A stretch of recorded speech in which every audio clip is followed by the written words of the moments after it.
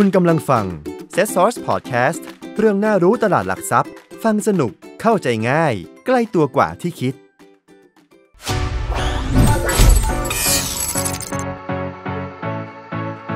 รู้หรือไม่นักทุนต่างชาติมีสัดส่วนการถือครองหุ้นไทย สูงสุดเป็นประวัติการณ์ในเดือนสิงหาคมที่ผ่านมา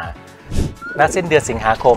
2516 นักลงทุนต่างประเทศ ถือครองหุ้นในตลาดหุ้นไทย สูงสุดเป็นประวัติการณ์ด้วยมูลค่ารวมกว่า 5.87 ล้านล้านบาท เพิ่มขึ้นเกือบ 15%จากสิ้นเดือนกรกฎาคม 2515 โดยมูลค่าการถือครองหุ้นคิดเป็น 30.5%ของมูลค่าหลักทรัพย์ตามราคาตลาด ปัจจัยที่ทำให้มูลค่าการถือครองเพิ่มขึ้นมานั้นเกิดจากการปรับเพิ่มขึ้นของราคาหุ้นในบางหมวดธุรกิจ และการถือครองหุ้นของบริษัทที่เข้าจดทะเบียนซื้อขายใหม่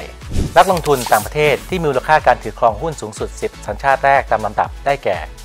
สหราชอาณาจักร สิงคโปร์ฮ่องกง สวิตเซอร์แลนด์ สหรัฐอเมริกา ญี่ปุ่น เนเธอร์แลนด์ มอริเชียส ไต้หวัน และฝรั่งเศส มาดูกันครับว่า 3 sector ที่นักลงทุนต่างประเทศถือครองหุ้นไทยสูงสุดมีอะไรบ้าง 3 sector ที่นักลงทุนต่างชาติถือครองสูงสุดได้แก่ หมวดชิ้นส่วนอิเล็กทรอนิกส์ที่ 1.38 ล้านล้านบาท หมวดพลังงาน และสาธารณูปโภคที่ 861,642 ล้านบาท และหมวดธนาคารที่ 828,880 ล้านบาท โดยมีมูลค่าที่การถือครองใน 3 sector นี้รวมกัน 3.07 ล้านล้านบาท หรือ